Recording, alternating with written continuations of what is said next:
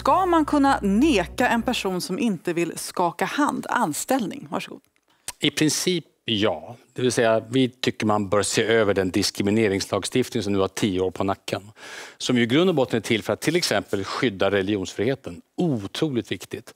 Men det måste också gå att skydda till exempel företag, arbetsplatser som vill ha jämställdhet på arbetsplatsen. Där intressen står emot varandra. Det kan inte vara så att den enskildes uppfattning om sin religion alltid övertrumfar allting annat. Jag är mån om att jämställdheten och lika behandling på svenska arbetsplatser ska också ha starkt skydd.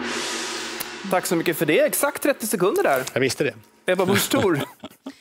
Ja, det tycker jag i grunden att man ska kunna. Därför att det är inte rimligt att man som arbetsgivare kan bli eh, skyldig att betala skadestånd därför att en person väljer att behandla män och kvinnor annorlunda. Och I grunden så är det ju någonting fantastiskt vackert att vi tar alla i hand i Sverige. Oavsett om man kom nyanländ till Sverige igår eller har bott här i generationer, om man är rik, fattig, ung, gammal. Det spelar ingen roll. Vi förmedlar respekt till alla vi möter genom vårt sätt att hälsa och att vi i grunden tar alla i hand.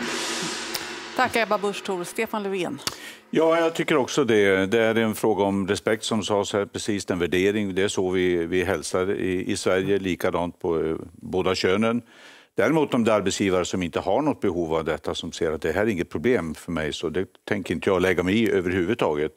Men eh, arbetsgivare som ser att eh, här är någon som inte kommer att ta i hand med patienterna eller kunderna eller vad det nu kan vara, ja då tycker jag man har rätt att säga nej.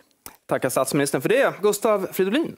Ja, på alla arbetsplatser ska man kunna kräva att medarbetare behandlar män och kvinnor lika. Och i en del jobb måste man också kunna kräva att du bemöter en person du träffar på ett sätt som gör att den personen upplever sig bemött med respekt.